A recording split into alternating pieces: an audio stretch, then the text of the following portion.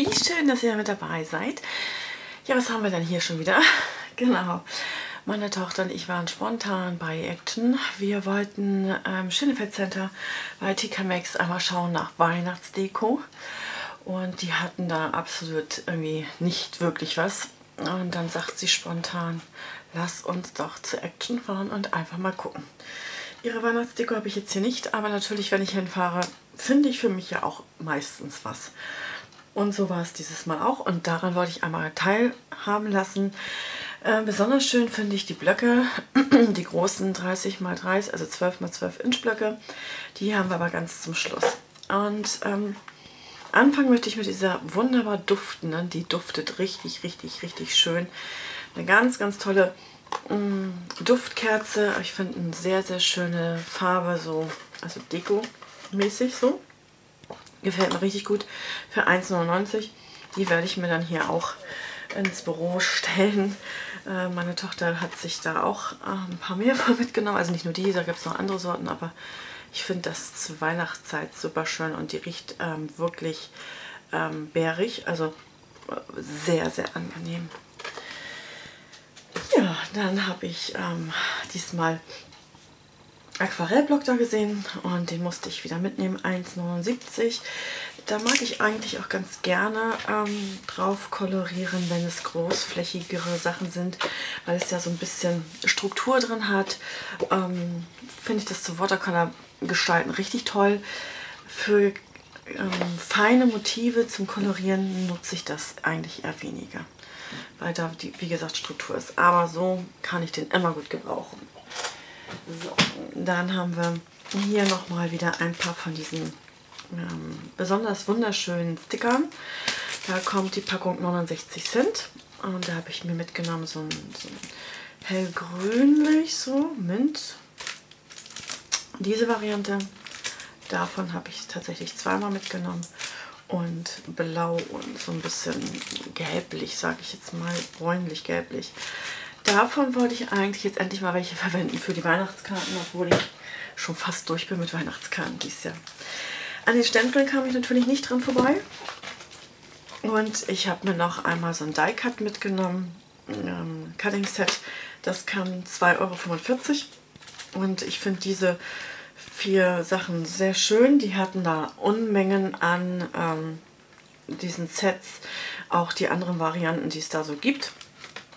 Ich weiß gar nicht, was ist da noch so, aber das hat mir nicht zugesagt. Und bei 2,45, äh, ja, ich weiß, es ist nicht viel Geld im, für Stanzen, ähm, aber ich habe von ähm, Action noch ein paar andere Stanzen, die ich dann auch für 2022 auf den Zettel komme mit Vorsätzen und ähm, Ziele für, für das Jahr dann.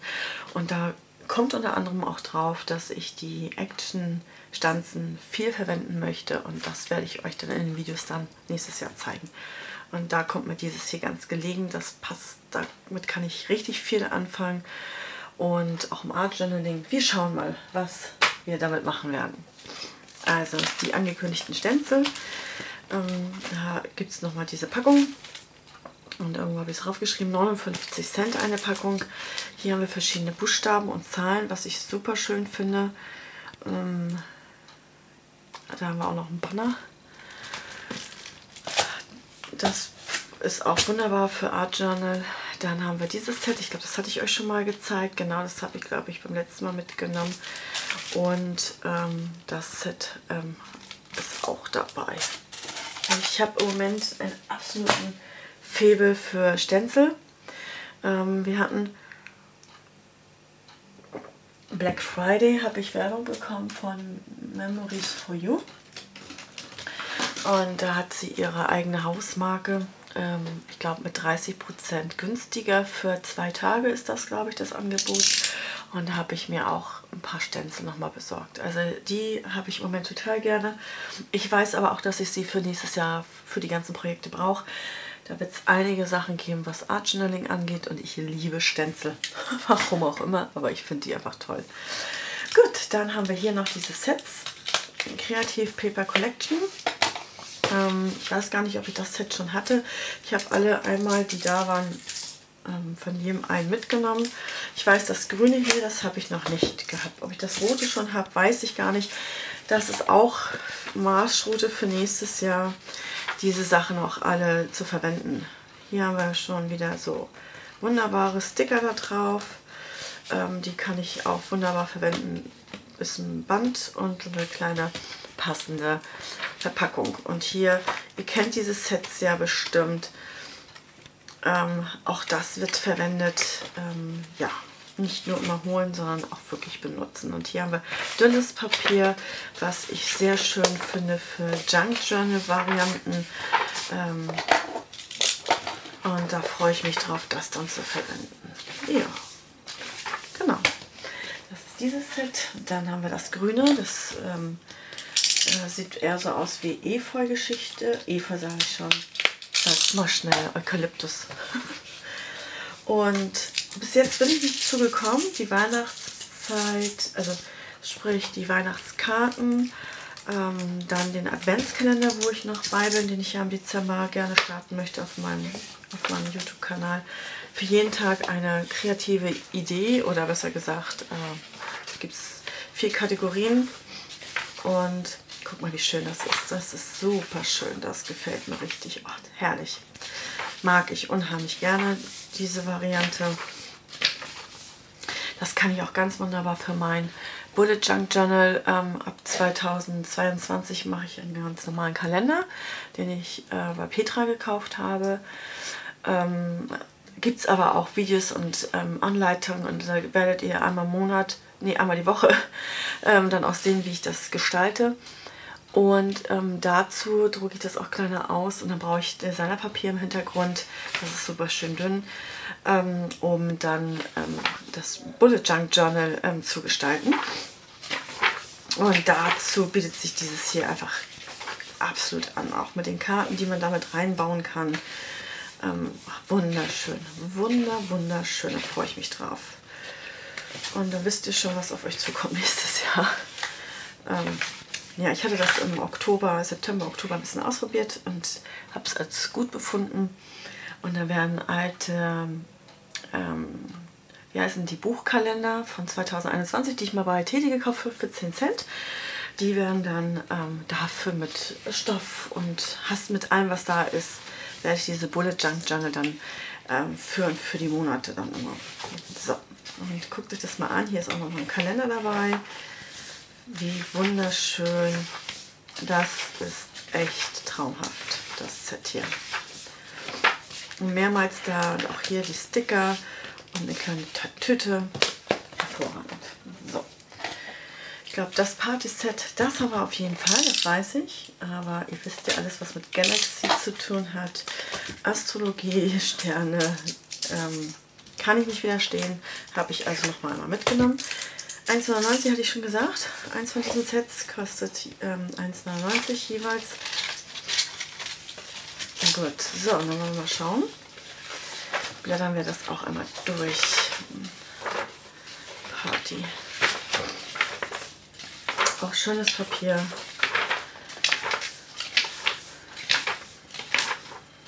Ja, und ich glaube, das habe ich euch schon mal gezeigt. Ähm, beim letzten Haul habe ich mir das schon mal mitgenommen. Aber auch da, wenn man jetzt zum Beispiel, ähm, wenn man dann Geburtstag hat in dem Monat, kann man ähm, das als Thema natürlich auch nehmen. Ne? Sehr, sehr schön. Ja.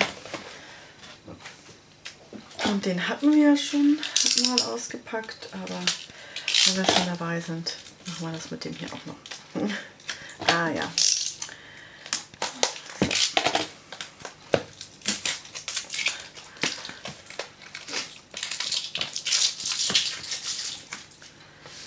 Davon hatten sie einen da, deswegen habe ich auch diesen einen da mitgenommen. So. Und Hintergründe wissen wir ja auch, wie wir mit Distress Oxide das hinbekommen. Also kann man das Papier auch gnadenlos verwenden. Super. Hier sind dann die Karten.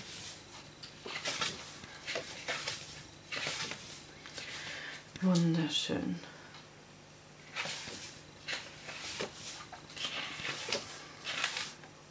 Ach, da freue ich mich drauf, das hm, zu benutzen, zu verwenden. und damit Sachen gestalten. Ja. Und hier hinten haben wir auch noch einige Seiten. So, das waren die Sets. Dann habe ich mir noch mal wieder Sticker mitgenommen. Auch die habe ich schon verwendet, also nicht die jetzt genau, sondern ich habe mir ja schon von Action über das Jahr welche gekauft. Die kosten 94 Cent. Ähm, das ist ein doppelter Bogen. Ich zeige euch das noch mal ein bisschen genauer. Wieder rückwärts.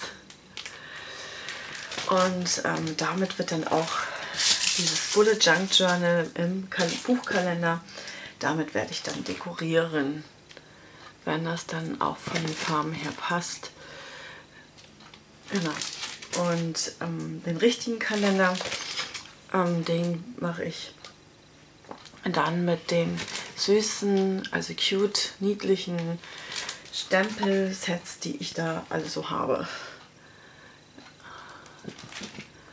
Die werden dafür verwendet und sowas dann im Bullet Journal. Ich glaube, den habe ich gerade gezeigt. Genau, den habe ich zweimal mitgenommen.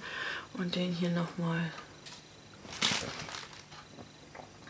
Und auch da, wenn man Sticker sieht, die einem gut gefallen, dann kann man das auch gut selber machen. Und vielleicht kriegt man da auch ein bisschen Anregung durch solche Sticker. So, jetzt kommt das Papier, was ich euch angekündigt habe. 1,99 jeweils, das sind vier verschiedene. Und die blätter ich auch nur mal kurz durch. Und durch meine Kamerahalterung muss ich das immer ein bisschen schräg machen. Geht das so? Wir machen das so. Und ich habe vom letzten Jahr noch, ähm, da habe ich auch mal nur einen Block mitgenommen. Und da habe ich auch schon für eine Besonderheit ähm, gestaltet, gebastelt mit. Aber die bringen ja jedes Jahr neue Sachen raus. Ach, das ist immer so schön. Das zum Beispiel würde ich jetzt gar nicht als Bogen verwenden, ähm, sondern ich würde das einzeln ausschneiden. Und dann hat man so Die Cuts, kann man daraus da machen. Aber wunderschönes Papier und so stimmig wieder, herrlich. Als ich beim letzten Mal da war, hatten sie diese Blöcke noch nicht. Für einen Adventskalender, ne? 25 müssen wir ja nicht nehmen, aber 24 ist cool. Das ist doch eine schöne Variante. So, und dann haben wir den. Der hat mich auch gleich so angesprochen. Das ist wunderschön. Auch mit diesem Gold Santa Claus is coming to town. Da wollen wir mal gucken, was der mitbringt. So ein Holzpapier kann man immer gut gebrauchen. Hier sind die Sterne auch so beglitzert. Hier ist Glitzer bei. Das ist super schön. Auch schön. Herrlich, oder? Name, Name, Name. Haben wir ähm, acht Kärtchen ähm, und dann kann man sich halt aufschreiben. Ähm, to start. Achso, das ist ein Dinner. Das sind so wie Einladungskarten. Das machen wir nicht. Bei uns gibt es jedes Jahr Raclette. Da freuen wir uns drauf. Aufs ganze Jahr über. Das wird ein Raclette-Essen. Sehr schön. Toll, oder? Super ansprechendes Papier. Diese Karten sind ein Traum. Und dieses äh, Hintergrundpapier wunder, wunderschön. Und das mag ich auch, so kleine Kärtchen, ähm, bis 31 sogar. Also Christmas Adventskalender bis 31. Okay. Mein Adventskalender geht bis zum 23. Am 24. gibt es dann nochmal ähm, besonderes Video. Mal gucken. Ich hoffe, dass das alles so klappt, wie ich mir das vorstelle. Schick, ne? wunderschön. Auch mit diesem Gold drumherum und hier so ein bisschen Platz.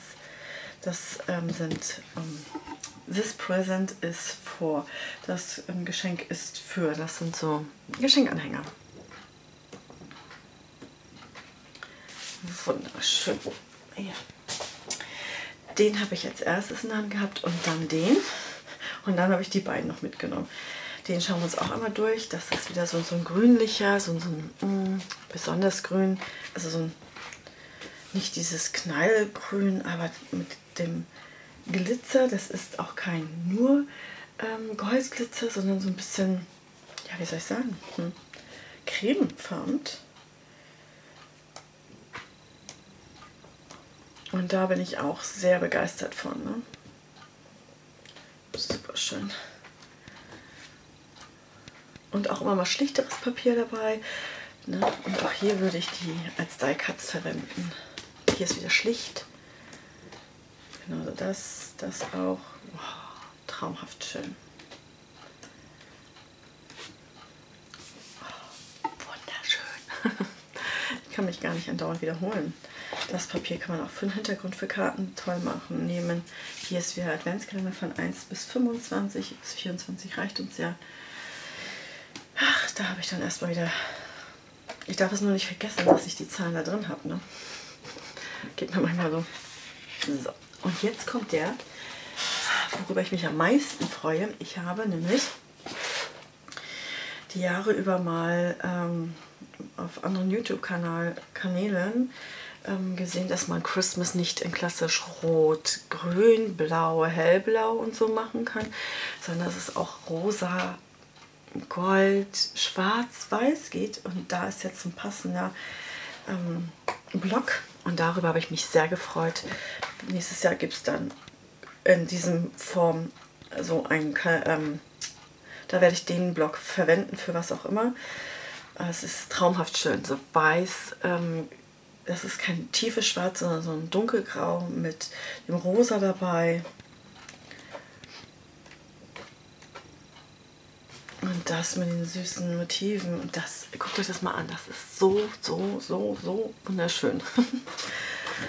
ja, das Papier ist auch der Burner. Auch schön. Super schön. Auch wieder für einen Adventskalender. Das kann man auch gut für Karten verwenden.